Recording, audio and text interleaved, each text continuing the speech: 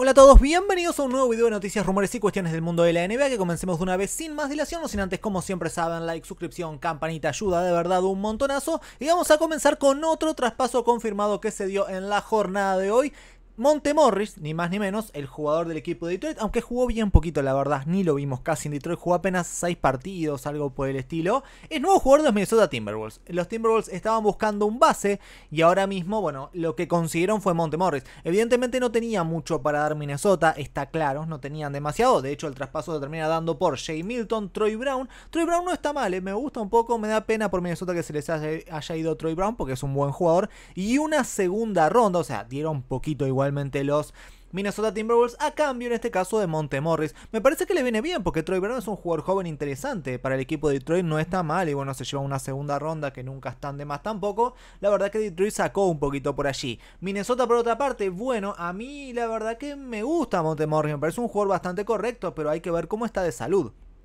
Como les digo, ha jugado 68 partidos en toda la temporada, apenas. Eh, ha pasado lesionado, apenas si estaba volviendo, habrá que ver cómo está de salud. Si está al 100%, bueno, es un jugador que puede ser medio interesante, no está del todo mal.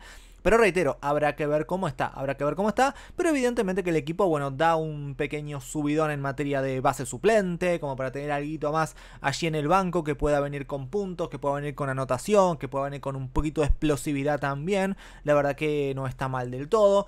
Habían algunas otras opciones que obviamente para el equipo de Minnesota eran distintas. Veremos, no sé si el equipo seguirá haciendo cosas. No sé si les gusta mucho en este caso Montemorris, si era un objetivo que tenían y les encanta y por eso fueron por él. No lo sé. Pero bueno, había otros objetivos también que podrían haber estado bien. Se hablaba quizás de Schroeder, se hablaba quizás de, no sé, em, de Bones Highlands, se había hablado algo también. Obviamente que Tyus Jones era imposible, siempre fue imposible. Los fanáticos de, Minnesota me decían, Tyus Jones, yo le decía, no, la verdad, me parece muy difícil. Evidentemente que era imposible, pero bueno, se llevaron algo bastante interesante igualmente, habrá que ver cómo le va de aquí en más. Es una buena incorporación, creo yo, es una buena incorporación, veremos si está saludable. Si está saludable va a andar bien y va a ser alguien que va a sumar bastante al equipo de Minnesota Timberwolves. Por otra parte, otros traspasos que hicieron el día de hoy, que ya los he comentado, les voy a dejar el video por allí arriba. Bueno, el equipo de Detroit Pistons también justamente, que ha sido uno de los vendedores de la jornada se llevó en este caso a Simone Fontecchio de Utah Jazz a cambio de Kevin Knox. Una segunda ronda también le llega al equipo de Detroit. Una segunda ronda, bueno, interesante. Perdón, le llega al equipo de Utah. Le llega al equipo de Utah. Eh, ya lo comenté, como les digo, por allí. Y también Xavier Tillman es nuevo jugador del equipo de Boston Celtics. También, ya lo comenté por ahí. Lo voy a dejar por allí arriba también. Para el que quiera ahondar un poquito más en toda esta situación. Bueno, que vayan a ver el video en este caso. Pero hay un poquito más para hablar de Boston. Y esto es interesante porque hay rumores de última hora, en este caso de Brian Rowe, que es un periodista muy cercano al equipo de Boston Celtics, que dice lo siguiente, se anticipa que Brad Stevens y los Celtics continuarán con su enfoque agresivo y harán probablemente algún otro movimiento antes de la fecha límite de cambios de mañana, comenta este periodista. Tiene sentido lo que dice, el equipo de Boston Celtics tenía 8, 8 segundas rondas antes de este traspaso, ahora tienen 6. Igualmente, con esas 6 rondas y con alguna excepción de traspaso, porque tiene una excepción de traspaso, por ejemplo, la de Grand Williams, que son como casi 7 millones. ¿Pueden hacer algo con esa excepción y algunas segundas rondas? Seguramente que puedan. Algo se pueden traer, algo pueden hacer. Habrá que ver qué pero está claro que los Celtics van a seguir en movimiento. Eso está muy claro, los Celtics van a seguir buscando, van a seguir intentando y seguramente algo van a hacer y si no lo hacen seguramente van a estar cerca de hacer, pero se van a mover. Boston siempre desde hace años ya es bastante bastante agresivo en estas en esta fecha. Siempre los, en las fechas límites algo hacen. Me acuerdo que hace algunos años fue Fournier. El año pasado se movieron un poquito también. Eh, Derrick White también llegó más o menos, no me acuerdo en qué fecha fue, pero fue a mitad de temporada también, si yo mal no recuerdo. Siempre un poquito se mueven. Ellos a final de cuentas Creo que esta vez no va a ser la excepción y que el de Tillman no va a ser el único traspaso que van a hacer los Boston Celtics, así que habrá que seguir esperando qué termina sucediendo con esta situación. Por otra parte, nos mudamos un poquito a su rival, ¿no? De toda la vida, Los Ángeles Lakers. Vamos a hablar un poquito de los Lakers en este caso, porque la situación de Lakers ha cambiado mucho, dice Adrian Wojnarowski. Wojnarowski dice lo siguiente, los Lakers eh, han cambiado mucho con el resurgimiento de D'Angelo Rossi, ya han cambiado la manera de ver las cosas. Dice, hace tres semanas, un mes más o menos, eh, D'Angelo estaba muy disponible, o sea, si cualquiera venía y preguntaba qué hay, qué, qué pretendés por D'Angelo, Lakers casi que te le ponía un moño y te lo daba por lo que le diera, o sea, hasta por segunda ronda. Por cualquier cosa, D'Angelo era totalmente prescindible. Ahora, a como ha jugado D'Angelo, realmente ha cambiado mucho la situación. Y a día de hoy, D'Angelo se ha convertido en un estandarte del equipo y en una pieza muy clave. A partir de eso, la disponibilidad de D'Angelo ya no es tal. O sea, para llevarte a D'Angelo ahora, le vas a tener que dar algo bueno a Lakers. Ahí está la cuestión y ahí está el cambio. Entonces, bueno, sumado esto que probablemente no haya muchos equipos que lo pretendan a D'Angelo, llegado el caso, es difícil la verdad es difícil. Ha, subido el precio, es cierto. Los demás equipos que, bueno, quizás hace un mes no lo quería absolutamente nadie. Ahora capaz que algún que otro equipo lo ve con mejores ojos, pero claro, no es seguramente suficiente como para lo que Lakers pretende. Así que lo más probable a día de hoy es que Lakers no haga nada. Cada vez, cada hora que pasa, digamos, lo más probable es que Lakers no haga nada. Capaz que cambia, porque a ver, eso es lo que dicen los insiders. Curiosamente, además, porque siempre se habla de que Lakers va a hacer de todo. Pero lo que dicen los insiders, sin que sirva de precedente, es que Lakers probablemente no termine haciendo nada. O muy, poquita cosa. Así que habrá que ver qué sucede. Dicho esto, en el día de hoy se dio un rumor ahí con D'Angelo que es bien curioso, porque eh, los Lakers dicen que D'Angelo Russell se va a someter a un procedimiento de puesta a punto, algo por el estilo. Es raro, la verdad que es medio raro, pero está en duda para el partido de mañana de Lakers. En este caso, bien extraña la situación, la verdad, porque es algo que no. Un procedimiento de puesta a punto no es algo que sepamos bien lo que es o que sea algo normal o lo que sea. Justo en esa fecha, claro, surgen todos los rumores y explota todo, evidentemente. Derwin Ham salió a hablar, dijo que no, que era algo en serio, o sea, que no era por cuestión de traspaso, que era una cuestión de salud. Pero claro, ¿qué iba a decir Derwin Ham también en este caso, no? ¿Qué iba a decir Derwin Ham? Entonces, bueno, habrá que ver qué sucede llegado el caso. Habrá que ver qué termina pasando y habrá que ver qué hace D'Angelo, qué hace Lakers y qué pasa en las próximas horas. Por suerte, todo este humo, digamos, se va a disipar bien prontito porque ya en menos de 24 horas es la fecha límite de traspaso, así que sabremos qué hace tal y cual equipo y qué no hace finalmente cada uno de ellos. Por otra parte, igualmente el humo siempre va a estar ahí y con lo que está ligado a Lakers siempre el humo va a estar ahí. Comenta, en este caso Bill Reiter, que eh, los Lakers, según informes, son optimistas sobre sus posibilidades, por ejemplo, de adquirir a Donovan Mitchell en el verano. Eh, no, no va a pasar, evidentemente que no va a pasar. Con todo el cariño y respeto de los fanáticos de Lakers, evidentemente, ya les digo yo que no hay mucha chance de que Donovan Mitchell llegue a Lakers, salvo que Lakers dé a LeBron o algo así. Si ahí, ahí, bueno, puede ser, igual alguna otra chance hay, das LeBron, algunas cuantas primeras rondas, lo que sea. Ahí puede ser que sí. Lakers lo que va a tener es la posibilidad de en verano, es cierto, de tener algunos picks más. Especialmente la noche del draft. La noche del draft Lakers va a tener tres picks traspasables.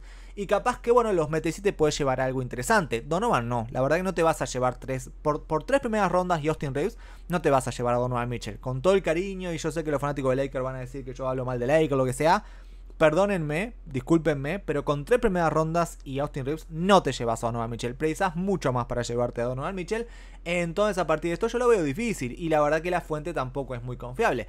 Pero bueno, habrá que ver qué sucede. Siempre los grandes nombres no ligados a Lakers o es algo de, nunca acabar. Volviendo un poquito al tema de DeJounte, porque la verdad de lo que se habla de Lakers es de DeJounte Murray. Y si hay un traspaso de D'Angelo, será seguramente casi al 99% por DeJounte Murray también. Eh, se habla de que los Pelicans podrían ser un equipo que está ahí en la vuelta medio dormido, un sleeper team, como se dice habitualmente, un equipo que esté ahí medio dormido, el que no se hable mucho, pero que se pudieran llegar a llevar eventualmente a DeJounte Murray. Los Pelicans no estaría mal, ¿eh? No estaría nada mal que se lleven a DeJounte, sería una opción bastante interesante. No sé si es lo que más necesitan igualmente los Pelicans, pero no creo que esté mal del todo tampoco. Habrá que ver qué sucede, habrá que ver qué hacen los Pelicans y cómo pueden hacer algo al respecto y habrá que ver también qué hace Filadelfia, porque hay mucho run run respecto a Filadelfia últimamente. Y se espera que Filadelfia haga cosas, dice Winhor por ejemplo, se espera que los yo espero que la Filadelfia 76ers hagan más o menos entre 1 a 3 cambios del jueves a la tarde, mañana, es decir, la fecha límite. Em, la gente espera que Filadelfia haga cosas, que realmente se muevan y que realmente eh, lo intenten y que vayan por todo. Es curioso, es, es, curioso la verdad, porque yo no me esperaría que Filadelfia vaya a hacer mucha cosa, pero ellos van a operar, según dicen todos los periodistas, como que Envid vuelve. Entonces van a operar de esa manera y lo van a intentar y van a buscar alternativas y se van a mover. Uno de los jugadores que gusta mucho es ni más ni menos que Kelly Olinick. Olinick les gusta un montón a Filadelfia, dice también en este caso Winhorst, y, y lo van a intentar. Van a ir por él, van a tratar de hacer algo al respecto. Veremos, habrá que ver qué sucede con él. Habrá que ver qué hace Filadelfia, qué le puede ofrecer. No sé si con segundas rondas te llevarás a Olinick, la verdad. Salarios tiene para dar evidentemente el equipo de, de Filadelfia, pero rondas no sé hasta dónde estarán dispuestos a dar. Pero evidentemente que lo van a intentar, evidentemente que van a intentar hacer algo y van a buscar alternativas, todo lo que puedan. Así que se espera una jornada medio movidita de parte de Filadelfia. Ojalá, pues la verdad que hasta ahora la fecha límite ha estado bastante tranquila y bastante aburrida. O sea, todo bien con Tillman y Montemorris, pero la verdad que uno espera un poquito más, alguna cosita más. Olenek la verdad que sería un nombre un pelín más interesante, tampoco es que rompe el mercado. Pero bueno, algo es algo. Para lo que hay en la vuelta, algo es algo a decir verdad. Por otra parte, bueno, otros rumores más que andan por ahí en la vuelta. Los ejecutivos rivales creen que a Bones Highland lo puede sacar de Clippers por un par de segundas rondas. Podría ser una opción, habrá que ver qué sucede pero evidentemente que podría ser una interesante opción para cualquier equipo que esté buscando un base medio revulsivo desde el banco. Highland evidentemente que sería una buena opción en este caso, así que hay que seguir de cerca, yo creo que va a salir, Highland va a salir casi seguro de Clippers, veremos PJ Tucker, ¿no? Que pasa también por allí, pero Highland casi seguro que va a salir del equipo al fin y al cabo. Por otra parte, por Schroeder, otra vez más o menos lo mismo, dos segundas rondas, algo por el estilo, se podría eh, llegar a a dar por Schroeder, eh, van a tener que darse algún contrato. Evidentemente, el caso de Schroeder no es el mismo que de Highland. Highland gana un contrato mínimo. Eh, Schroeder gana, gana más. Schroeder gana como 12, 13 millones, si mal yo no recuerdo. Entonces vas a tener que dar algún contrato expiring. Porque evidentemente si vas a dar solamente segundas rondas, no te va a alcanzar con, con un contrato medio malo o lo que sea. No, vas a tener que dar seguramente un contrato expiring y algunas segundas rondas o algún jugador muy interesante que a Toronto le pueda llegar a, servir, digamos, en este caso. Así que por ahí irán las cosas con Daniel Schroeder. Veremos qué sucede con él también. Es otro de los jugadores que muy probablemente terminen saliendo en la jornada de mañana. Por otra parte, nos metemos un poquito en Warriors, porque hay que hablar de Warriors también. Mark Stein comenta lo siguiente: se espera que los Warriors exploren las opciones comerciales de Andrew Wiggins hasta la fecha límite de cambios eh, en este caso. Mark Stein es un periodista bastante interesante, bastante importante. Y habla de esta manera y es algo que varios periodistas han, han hablado al respecto. Warriors va a buscar, Warriors va a buscar alternativas y acá la gente de Golden State Warriors lo, lo dice de manera muy concreta y muy correcta y, y es tal cual. Desde Warriors afirman que no hacer ningún traspaso no es tirar la temporada. Warriors va a buscar alternativas, van a hablar evidentemente, pero ellos siguen confiando en la plantilla mientras todos estén sanos. Sin embargo, se va a negociar a Wiggins hasta el último segundo del trade deadline. Escuchan ofertas esperando algo que funcione a nivel salarial y deportivo. Un traspaso sería por Wiggins sí o sí por algún jugador que sirva para competir. No lo van a cambiar ni por ronda ni para aliviar salario ni nada por el estilo. Eso ya es algo que hemos comentado hace algunas semanas ya. Es decir, no es que Warriors lo va a regalar a Wiggins o algo por el estilo. Que en algún momento se había hablado de eso también. Bueno, no, parece que no. Lacob, no es, que es el dueño de Warriors, para algún despistado no está interesado en regalar jugadores para ahorrar dinero y nada por el estilo. O sea, se gasta lo que se gasta y punto. Entonces, a partir de esto, si hay un traspaso por Wiggins, tiene que ser por algún jugador que sea medio interesante al fin y al cabo. Es muy difícil que encuentren el traspaso que buscan, evidentemente. Porque, a ver, Warriors lo que busca es un Wiggins, pero mejor. Y nadie te va a dar un Wiggins mejor por Wiggins. O sea, no tiene ningún sentido. Entonces es muy difícil, es casi imposible. Pero están abiertos, digamos, a traspasarlo por primera vez desde que ha llegado en 2020. Dicen que bueno, hay un 75% de posibilidades que se queda, dicen los amigos de Golden State Warriors Tam. Yo digo un poco más, la verdad. Yo diría que hay un 90% de posibilidad de que se quede. Porque como les digo, o sea, si vos vas a por Wiggins, lo que vas a dar no va a ser algo parecido a Wiggins. Si vos vas a por Wiggins, seguramente lo que podés dar es o algún pivot o algo por el estilo, o algún base, escolta o algo por el estilo. Warriors no necesita ninguna de las dos cosas. Warriors lo que necesita es un Wiggins, pero mejor. Porque lo que necesita Warriors es aleros, básicamente. Entonces lo veo difícil para mí va a estar complicada la situación. No digo que sea imposible, quizás lo traspasen, quizás lo traspasen, no digo que no, pero sí que es cierto que yo no apostaría mucho en ese, en ese aspecto, la verdad, no apostaría mucho en ese aspecto, además eh, Wiggins probablemente juegue esta noche, según dicen lo habían puesto como probable para hoy, así que ya va todo en esa línea de que si juega, digamos, si es un juego que están a punto de traspasar o por el estilo, no lo arriesgan en general. Pero parece que va a jugar y todo, así que ningún problema en este caso. Warriors lo va a intentar, pero a los fanáticos de Warriors tengan en cuenta, existe la posibilidad muy grande, muy grande de que no haga nada Warriors. Y es lo más probable, de hecho. Es lo más probable, de hecho. Así que bueno, bajen un poquito las expectativas. Si pasa algo, capaz que los sorprende y capaz que quedan contentos. Pero si no pasa nada, es lo más probable y no se sorprendan tampoco. Porque es lo que hay. Steve Kerr habló al respecto y dice: No puedo anticipar que vaya a suceder algo. Puedo decirles que no hay desesperación de nuestra parte. Estamos teniendo conversaciones, sí, pero hay cero desesperación de nuestra parte. Dice Steve Kerr sobre el trade deadline. Bueno, veremos qué sucede. Pero sí, así va la cuestión, digamos. Que en, este caso, en estos casos es bastante sincero, la verdad. Porque lo dice abiertamente. O sea, hay conversaciones, sí, pero cero desesperación. Si habla de que Looney quizás también podría entrar en algún traspaso, eso podría ser medio probable, eso podría ser más probable quizás. Looney y un pack de segundas rondas o algo por el estilo. Bueno, capaz que algún equipo que esté buscando algo parecido a Looney y que le sirvan, eh, qué sé yo, que le sirvan las rondas, lo que sea, y podría andar, capaz no sería tan loco. Quizás en ese caso. Habría que buscar quién, lo que pasa es que claro, hay que buscar gente que gane parecido, salarialmente tiene que funcionar. Ustedes saben que Wario está complicado salarialmente también, tampoco puede recibir jugadores que ganen mucho más de lo que de lo que están dando, entonces es complicada la situación. Pero bueno, capaz que por ahí puedan dar las cosas, no sé, veremos qué sucede, pero reitero, tómense los fanáticos de Warriors, los fanáticos de Warriors, los fanáticos de Lakers, siempre digo lo mismo, tómenselo como que no va a pasar nada y si llega a pasar algo, sorpréndanse positivamente, pero tengan en cuenta que es muy probable que no pase nada, porque sus respectivos equipos están complicados como todos, la verdad, porque hasta ahora los traspasos que hemos visto son casi que lo mismo que la nada, ¿no? Evidentemente, hemos visto que Tillman es una buena opción, la verdad no está mal para Boston. Montemorri puede ser una buena opción, pero la verdad que son traspasos que no cambian mucho la ecuación y claro, estamos hablando de equipos que van muy bien en las tablas, el caso de Warriors, caso Lakers, caso ese tipo de equipos que van más o menos, un Montemorris no te cambia la ecuación. Entonces, si no vas a hacer algo que realmente te cambie la ecuación, preferible capaz no hacer nada y ya, y ya estaría. Pero bueno, habrá que ver qué sucede. También habló Steve Kerr, y esto es interesante, sobre Clay. Porque el momento de Clay obviamente que es el que es y se habla mucho al respecto. Dice, Clay está pasando por un momento en el que se estancó. Sigue siendo un jugador increíble y es un tipo con el que vamos a contar, pero esta última semana en algunos partidos sentí que era correcto cerrar el juego con otros jugadores. Él abrazó eso y lo tomó bien. eso no es cierto. Yo sé que es lo que tiene que decir Kerr, pero eso claramente, muy claramente no es cierto. Muy claramente no lo tomó nada bien, se lo vio, o sea, se lo vio que no lo tomó bien. Estaba con una cara larguísima en el, en el, en el banco de suplentes mirando con odio, que se le tenía los ojos rojos. Eh, no se lo tomó bien. Pero bueno, sí que es cierto que es, real lo que dice. Clay está en un momento que no ha sido el mejor. Evidentemente es un tipo con el que van a contar, es histórico, todo, etcétera, etcétera. Clay no se va a ir traspasado, eso denlo por hecho, ya está, o sea, no va a pasar.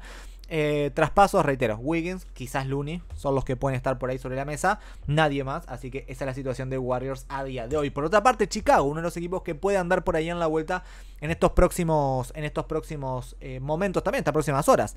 Eh, dice Chris Hines que llevarte a Andre Drummond de Chicago podría requerir algo así como tres selecciones de segunda ronda y que podría haber algún equipo dispuesto a ofrecer alguna primera ronda y todo, dice Chris Hines. Bueno, veremos a ver qué pasa con esto. No creo yo sinceramente que a nadie dé una primera ronda por Dramon, salvo que sea una primera ronda así muy mala. No sé, por ejemplo... Eh, Chicago podría recibir de quién? De, de Knicks. Knicks tiene unas primeras rondas que son bien malas porque son de Washington y Detroit. Son mega protegidas. Tiene una primera ronda que creo que es protegida top 18 como hasta dentro de 5. No la van a cobrar nunca. Eh, bueno, una ronda de esa capaz, yo que sé, podría andar. Pero más que eso, la verdad que no lo veo. Sinceramente me parecería raro. Nadie creo que te dé una primera ronda por Dramon. Segundas rondas sí. El tema es que también al mismo tiempo, porque esta es información de Chris Hines, pero también hay otras informaciones que dicen básicamente que de Chris Hines también que dice que los Bulls quieren ser competitivos. Dice, el objetivo de Chicago Bulls es seguir siendo competitivo esta temporada. ¿Creen que podrían ascender la clasificación de la conferencia este? Entonces, si creen que podrían ascender, ¿por qué van a cambiar a Dramon por segundas rondas? Es, es confusa y contradictoria la información, que casualmente viene del mismo periodista, pero es, es confusa. O sea, si vos crees realmente que querés ser competitivo y que podés competir, no cambias un jugador tuyo por segundas rondas. Si alguien te da una primera, bueno, igual sí, porque evidentemente que sí. Pero por segundas rondas vas a cambiar un jugador, no tiene sentido, no, no, no es lógico, no es nada lógico. Entonces, no sé, yo sospecho que Chicago probablemente no no haga nada tampoco. Es bastante, bastante factible que Chicago Capaz que pueda hacer algún movimiento residual o como para mejorar incluso lo que sea, pero difícilmente hagan algo, hagan algo en materia de venta o algo por el estilo, porque tampoco van a vender a Caruso, eso ya está recontra confirmadísimo desde hace tiempo también. Dicen, eh, en este caso Joe Cowley, dice, una fuente cercana a la situación, se ha vivido muchas llamadas por Caruso, pero la directiva necesitaría una oferta que los dejara completamente impresionados para intercambiar a Caruso, es decir, tres primeras rondas o algo por el estilo, o sea, una locura.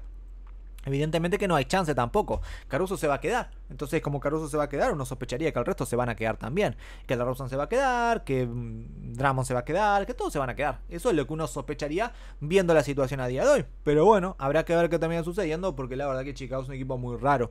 Pero según cómo se han manejado, cómo se siguen manejando, la situación que va ahora, Chicago va noveno. O sea, si esto fuera hace tres meses que Chicago iba muy mal, iba como 12, 13, bueno, podría ser distinto, pero Chicago ahora va noveno. Creo que pretenden seguir ahí más o menos, escalar un poquito si se pudiera.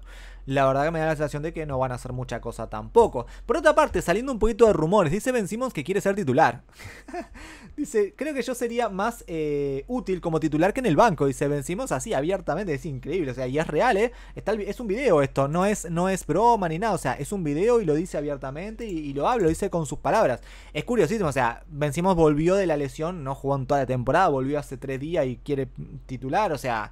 Lo, útil sería que estés sano y que no estés todo roto. Eso sería para empezar. O sea, que ya exijas titularidad tres partidos después de haber vuelto. Y que uno no lo jugó encima, porque hubo uno que descansó. Me parece surrealista. O sea, a bajar un poquito, a bajar un poquito, por favor. Sí que es cierto que si vencimos está sano, yo lo pondría por delante de Dingwiddie, es verdad, pero como para decir algo de esa índole, tenés que haber estado sano mucho tiempo y volver a un nivel brutal y todo. O sea, exigir, reitero, exigir me parece surrealista. Eh, titularidad hace tres partidos volvió, me parece increíble. Pero bueno, vencimos también tiene estas cosas 2x3. Por otra parte, Jalen Branson, esta es una buena noticia en general. Jalen Branson está listado como cuestionable para el jueves. ¿Por qué digo que es una buena noticia? Porque en el día de ayer se dobló muy feo el pie muy feo el pie y, yo pensé que se iba a perder mucho tiempo. A ver, es probable que no juegue capaz mañana, es bastante probable que no juegue, evidentemente, ¿no? Pero eh, si está listado como cuestionable, es evidente que no tiene nada muy fuerte porque si no lo listas como fuera, o como en duda, lo que sea. No, o sea, si lo listan como cuestionable, es que evidentemente alguna lesioncita tendrá, pero que más pronto que tarde va a volver. Y eso es algo muy bueno, eso es algo muy positivo en sí mismo. O sea, que no se vaya a perder mucho, es algo muy positivo en sí mismo. Que haya sido solamente que se dobló el pie y nada más, es algo muy positivo realmente para los Knicks, que ya bastantes desgracias han tenido esta temporada con todas las lesiones que han sufrido, como para encima perder a Branson algunos partidos. Y para la jornada de hoy, Tyrese Maxey está puesto como decisión del, del, del día, de, último momento, digamos. Es una decisión. Game time decision es, bueno, un ratito antes, media hora antes, una hora antes, sabremos si juega Tyrese Maxey o no. En un partido importante tiene Filadelfia contra el equipo de Golden State Warriors, justamente. Tenemos poquitos partidos, bueno, no son tan poquitos, son como 8. Está bastante bien. Una jornada, bueno, que tiene sus cositas. A primera hora arranca el partido entre Toronto y Charlotte, bueno, más o menos, de los peorcitos partidos de la jornada seguramente. Cleveland visita a, Washington, debería ganar Cleveland sin problema. Después va eh, justamente Warriors contra Filadelfia. Este es un lindo partido. Habrá que ver qué sucede por allí, pero dos equipos que necesitan ganar. Los dos, así tal cual. Los dos están urgidos de ganar. Filadelfia porque se cae obviamente sin envid y se va a caer. Necesita ganar partidos para resistir y Warriors porque va 11, evidentemente. Así que es un lindo partido este. Veremos si juega Maxi o no. Si juega Maxi, evidentemente le da otro condimento al juego. Si no juega Maxi, bueno, la victoria de, Warriors es mucho más probable, evidentemente. Por otra parte, Atlanta visita el equipo de Boston. Atlanta que viene últimamente bastante mejor contra Boston, que es el mejor equipo del este. Lindo partido este también. Por otra parte, Miami recibe a San Antonio. Debería ser victoria de Miami a priori. El equipo de Sacramento recibe a Detroit. Debería ser victoria de Sacramento. Pero tenemos también, medio que a última hora, un partido porque los Pelicans visitan a los Clippers y este es un partidazo sin ninguna duda, ¿eh? Es un partido brutal realmente que tendremos entre el líder del oeste, Los Ángeles Clippers, contra el equipo de New Orleans Pelicans. Lindísimo juego en la jornada de hoy. Si les gustó el video, como siempre saben, like, suscripción, campanita, ayuda de verdad un montonazo. Estén muy atentos a las próximas horas porque seguro pueden pasar cosas, traspaso, lo que sea. Voy a estar informando de lo que haga falta y mañana voy a estar en vivo todo el día, desde muy temprano Voy a estar en vivo hasta el deadline, así que tenganlo muy pero que muy en cuenta eso también. Muchas gracias a todos por haber llegado hasta aquí y nos vemos obviamente la próxima.